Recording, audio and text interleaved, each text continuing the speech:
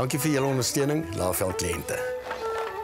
En nou, Hy oefen om 'n Laveld Agrochem agent te word. deur agteroor te buig.